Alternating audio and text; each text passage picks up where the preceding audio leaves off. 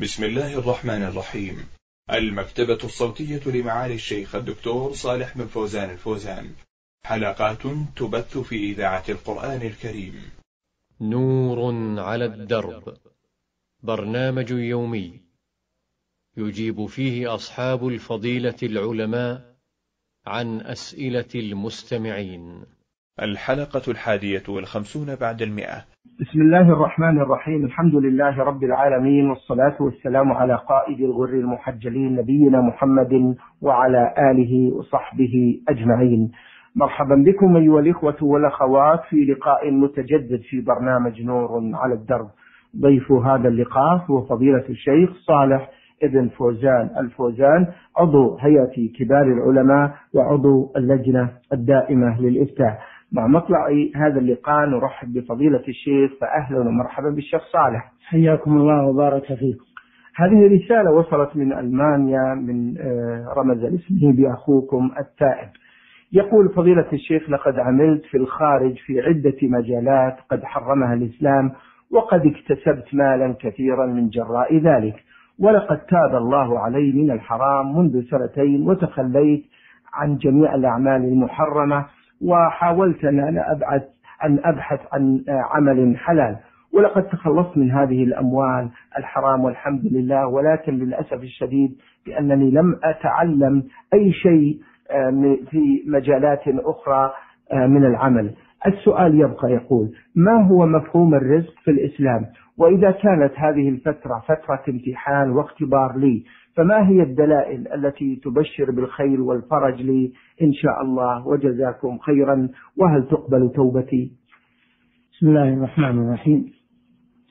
الحمد لله رب العالمين صلى الله وسلم على نبينا محمد وعلى آله وأصحابه أجمعين. نعم طلب الرزق الحلال من الله عز وجل مأمور به. قال تعالى فابتغوا عند الله الرزق واعبدوه. فإذا قضيت الصلاة انتشروا في الأرض وابتغوا من فضل الله. ليس عليكم جناح أن تبتغوا فضلا من ربكم.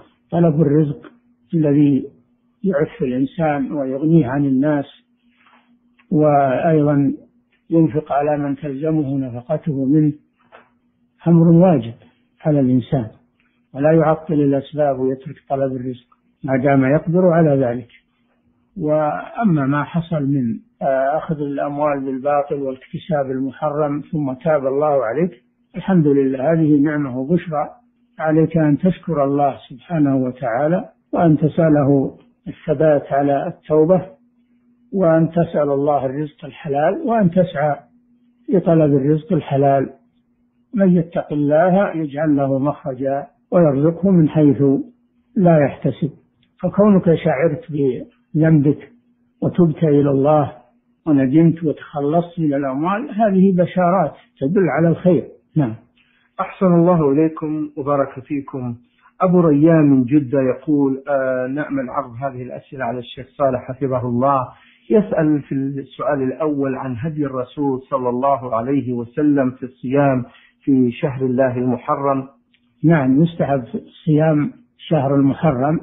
كما قال صلى الله عليه وسلم أفضل الصيام بعد رمضان شهر الله المحرم وآكده التاسع والعاشر يوم عاشوراء العاشر منه صيام يوم قبله أو يوم بعده هذا سنة مؤكدة.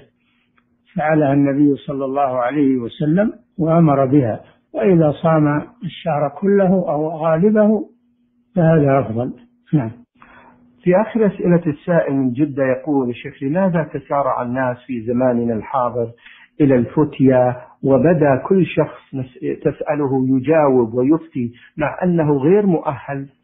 السبب في هذا عدم تقوى الله سبحانه وتعالى وعدم الخوف من الله لأنه لا يجوز للإنسان أن يفتي إلا إذا كان عنده علم مستند إلى دليل من الكتاب والسنة ودعت الحاجة إلى أنه يفتي. أما أن يقول على الله بغير علم ويفتي بجهل فهذا خطره عظيم.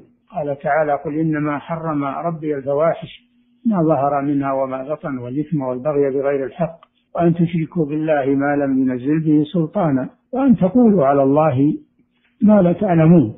القول على الله بغير علم عديل الشرك بل هو أعظم من الشرك لأن الله ذكره فوق الشرك لأن الشرك نوع من القول على الله بغير علم فالواجب على المسلم أن يخاف من الله. ولا تقولوا لما تصف ألسنتكم الكذب هذا حلال وهذا حرام لتفتروا على الله الكذب. إن الذين يفترون على الله الكذب لا يفلحون. متاع قليل ولهم عذاب أليم. نعم. جزاكم الله خيرا آه، وبارك فيكم. هذه الأخت السائلة تقول أرجو الإجابة على أسئلتي. هل الأطفال يا شيخ إذا مروا من أمام المصلي يقطعون الصلاة وإذا مرت امرأة أو رجل هل يقطعون صلاة المصلي؟ وما هو طول وعرض السترة أمام المصلي؟ حيث أن امرأة أخبرتني بأنه لا بد أن تكون السترة بطولها آه، لها طول معين ولا يصلح علبة منديل أو شنطة أو غيرها. نعم السترة مستحبة للمصلي وأن يقرب منها لتمنع النار بين يديه. فالسترة لها فائدة عظيمة سنة مؤكدة. يصلي إليها ويقرب منها. وليس لها حد معين في الارتفاع. وكل ما كان أمامه يحول بين المارة ولو ولو كان ارتفاعه قليلا لا بأس بذلك. ويحصل به المقصود. وأما مرور الأطفال من بين يديه فلا يؤثر على صلاته لأن هذا شيء لا يمكن تلافيه ومنعه لأن الأطفال لا يفهمون ويغلبون الإنسان. أما وكذلك مرور الرجل لا يبطل الصلاة لكن يأثم المار ويأثم المصلي إذا مكنه من المرور من غير حاجة. وأما مرور المرأة من أمام المصلي بينه وبين سترته أو قريبة منه إذا لم يكن له سترة هذا محل خلاف بين العلماء. الجمهور على أنه لا يقطع الصلاة أيضا وإنما يحصل به الإثم. ذهب بعض العلماء إلى أنه يقطع الصلاة. ويبطل الصلاة. فالمسألة فيها خلاف مما يدل على أنه لا يجوز أن تمر المرأة بين يدي المصلي. نعم. جزاكم الله خيرا. الأخت في سؤالها الثاني تقول ليس لدي محرم يا فضيلة الشيخ في جدة وإذا أردت الذهاب إلى مكة للعمرة أو للصلاة في الحرم مع بعض الأقارب وعوائلهم هل يجوز لي حيث آه، أن البعض يقولون إن من جدة إلى مكة ليس سفرا وأنا أسافر عادة آه، من جدة إلى الرياض بدون محرم وذلك في الطائرة. سفر من جدة إلى الرياض لا يجوز لا في الطائرة ولا في غيرها. قوله صلى الله عليه وسلم لا يحل لامرأة تؤمن بالله واليوم الآخر أن تسافر إلا ومعها ذو محرم. أما الذهاب من جدة إلى مكة فهذا موضع خلاف. فهذا موضع خلاف ولكن إذا ذهبت مع رفقة مع أناس فلا فلا بأس بذلك إن شاء الله لأنه لا يعد سفرا لأن ما بين جدة ومكة مسافة قليلة وكونها تتحرز ولا تذهب إلا مع محرم هذا أحوط لها وأبرأ لذمتها هذا فيما بين مكة وجدة. أما مما من مكة إلى الرياض أو من جدة إلى الرياض السفر الذي يبلغ مسافة يومين للراحلة فهذا لا يجوز مطلقا لأن الرسول صلى الله عليه وسلم قال لا يحل امرأة تؤمن بالله واليوم الآخر أن تسافر إلا وما ذو محرم. نعم. أحسن الله إليكم وبارك فيكم. أخوكم في الله أبو عبد الله أرسل سؤال لفضيلة الشيخ يقول لي جار شيخ مستأجر عندي لمدة خمس سنوات وأرغب في إخراجه من الشقة. هل علي إثم في ذلك؟ ليس عليك إثم في ذلك لأن الحق لك في شقتك أن تؤجرها أو أن تخرج الأجير منها إذا تمت مدته أما قبل أن تتم مدة الإجارة فلا يجوز لك أن تخرجه من غير مسور شرعي. نعم. الأخت أمة الإسلام أرسلت في مجموعة من في هذه الرسالة تقول يا شيخ ما الدليل على كراهية حضور المرأة للدروس التي تقام في المساجد؟ علما بأنها إذا كانت في العذر الشرعي لا تحضر. لا دليل على ذلك.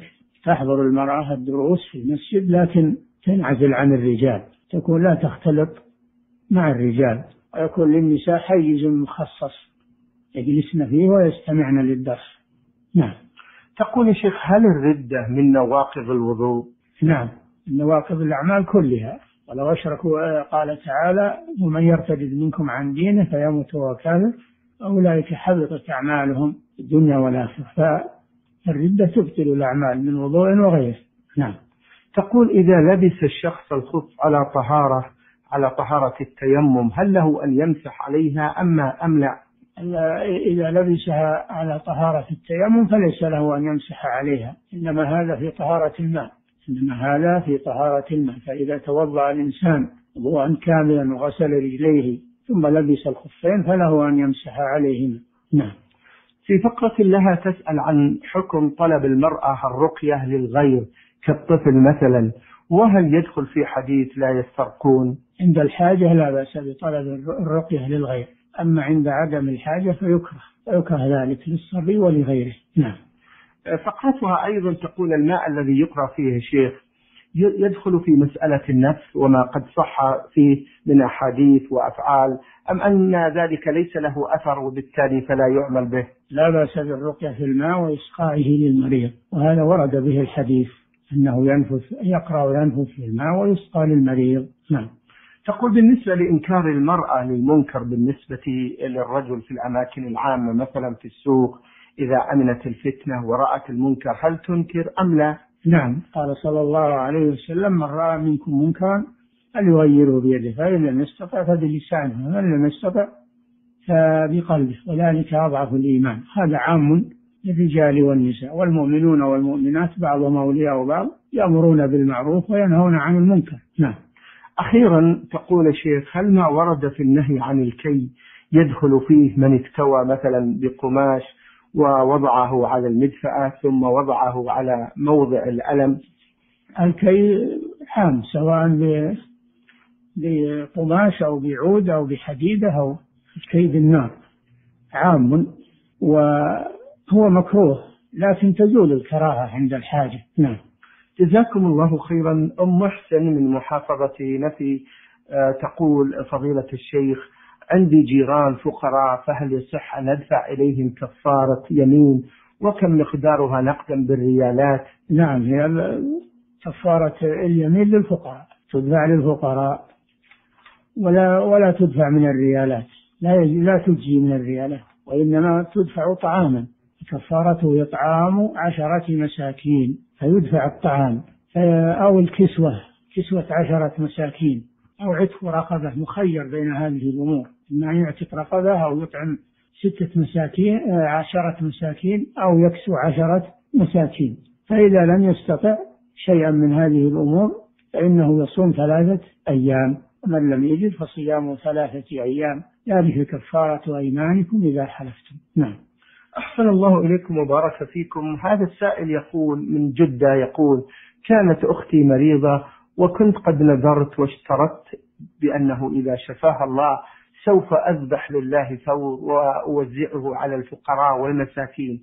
فهل علي الوفاء بهذا النذر أم لا علما بأن أختي قد توفيت من جراء هذا المرض؟ أفيدوني وجزاكم خيرا.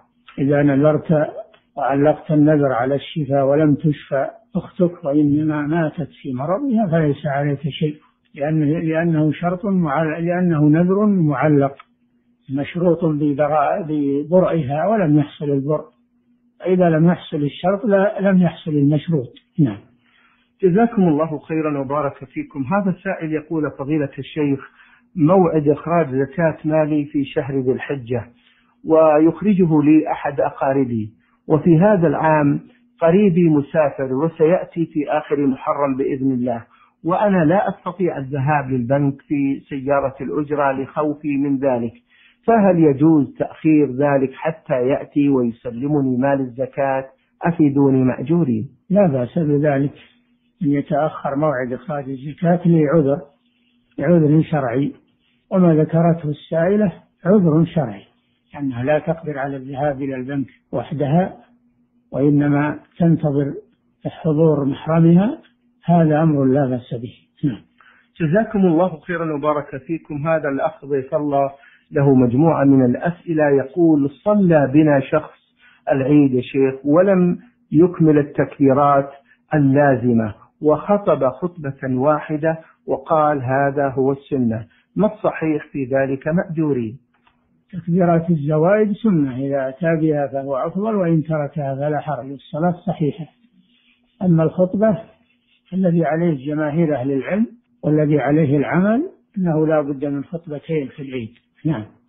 يقول الشيخ إذا كنت أصلي الراتبة وقدمت صلاة الجنازة فهل تقطع صلاة الراتبة؟ لا. تكمل الصلاة التي أنت فيها ثم تلحق بصلاة الجنازة ما بقي منها وتكمل بعد سلام الإمام تكمل ما بقي من التكبيرات. نعم. جزاكم الله خيرا وبارك فيكم. هذا سائل آخر للبرنامج يسأل عن حديث وما معناه من حسن إسلام المرء تركه ما لا يعنيه. ماذا يدخل في هذا مأجورين الإنسان لا يدخل في شيء لم يكلف الدخول فيه. هذا معنى لا تركه ما لا يعنيه. الشيء الذي لا يلزمه الدخول فيه وليس مسؤولا عنه وليس منوطا به فإنه لا يدخل فيه. نعم. جزاكم الله خيرا. الأخت السائلة تقول هل للمرأة شابة وعمرها 25 سنة أن تتزوج بدون إذن والدها حيث أن أن والدتها مطلقة وهي تعيش معها وهناك خلافات بين الأب والأم. لا يجوز للمرأة أن تتزوج إلا بمح... إلا بولي قال صلى الله عليه وسلم لا نكاح إلا بولي من شروط صحة النكاح الولي. فلا تعقد المرأة لنفسها. نعم. جزاكم الله خيرا. أبو عابد يقول يا شيخ ما الفرق بين الظهار والطلاق؟ الظهار يمين فيه كفارة والطلاق هذا ليس يمينا وليس فيه كفارة. نعم. يقول فضيلة الشيخ صلاة الليل مثنى مثنى. إذا صلى الإنسان أربعا ثم سلم ثم أربعا ثم سلم وقرن الثلاث ركعات بسلام واحد هل هذا جائز؟ صلاة الليل مثنى مثنى فلا يقرن الأربع بسلام واحد وإنما يسلم من كل ركعتين إلا في الوتر. الوتر إذا كان يوتر بثلاث وقرن الثلاث بسلام واحد لا بأس بذلك وكونه يفصل بين الشفع والوتر بسلام هذا أفضل. نعم. أخيرا يقول ما حكم الزيادة عن 11 ركعة؟ لا بأس بذلك لأن النبي صلى الله عليه وسلم رغب في قيام الليل ولم يحدد ذلك بحد معين وإنما هو صلى الله عليه وسلم كان لا يزيد في رمضان ولا في غيره على 11 أو 13 ركعة لكنه كان يطيل الصلاة يطيل القيام والركوع والسجود ويطيل الصلاة. وأما إذا خفف الصلاة وزاد في العدد فلا بأس بذلك. نعم. جزاكم الله خيرا. الأخت مريم من أبها تقول ما معنى يا شيخ حديث التغني بالقرآن؟ وهل للمرأة أن تتغنى بالقرآن؟ وهل هو خاص بالرجال؟ التغني بالقرآن تحسين الصوت بالقرآن وحسن الأداء. هذا هو التغني بالقرآن. وهو عام للرجال وللنساء لكن المرأة لا ترفع صوتها بحيث يسمعها الرجال في ذلك من الفتنة. نعم. جزاكم الله خيرا وبارك فيكم. الأخ عبد الله من الرياض يقول من عادة أخي يا شيخ السفر إلى مكة المكرمة والمدينة النبوية بقصد حضور الختمة مع أن عنده مسجد وجماعة يصلي بهم فما الأفضل له؟ لا يسافر من أجل حضور الختمة وإنما يسافر من أجل الصلاة في المسجد الحرام والمسجد النبوي لأن الصلاة في المسجد الحرام عن مئة ألف صلاة الصلاة في المسجد النبوي عن ألف صلاة. فيقصد بسفره الصلاة في المسجدين وأما الختمة ليس لا يشرع أن يسافر من أجلها ولا يستحب أن يسافر من أجلها. نعم. جزاكم الله خيرا. الأخت صالحة آه، من الجنوب تقول في صغري يا شيخ نذرت أن أحافظ على صلاة الوتر قبل أن أنام فأحيانا أؤديها وفترة أتركها. نعم إذا كنت نذرت فلا بد من, من, من أداء النذر. فإذا لا يجوز لك ترك الوتر وأنت قد نذرت أن توتري لأنه أصبح واجبا عليك بالنذر. فإذا تركته فعليك القضاء. نعم. تقول نقرأ في كتب الفقه بأن المرأة كلها عورة إلا وجهها في الصلاة. ما الحكمة تقول في عدم تغطية الوجه في الصلاة؟ لأنه ليس بعورة في الصلاة. الحكمة أنه ليس بعورة في الصلاة إلا إذا كان عندها رجال ليسوا محارم فإنها تغطيه في الصلاة وفي غيرها نعم. جزاكم الله خيرا. تقول فضيلة الشيخ قراءة القرآن عبادة لله عز وجل ولكن هل قراءة القرآن تصح على أي حال كان الإنسان واقفا أو جالسا أو مضطجعا أو على سريره؟ هكذا كان النبي صلى الله عليه وسلم يفعل. كان صلى الله عليه وسلم يقرأ القرآن ولا يحجزه عن قراءة القرآن إلا الجنابة. كان يقرأ القرآن جالسا وماشيا وراكبا وفي جميع أحواله. كما أنه كان يذكر الله على كل أحيانه. نعم. تقول الشيخ هل أصلي السنة القبلية والبعدية إذا كنت مسافرة يوم الجمعة؟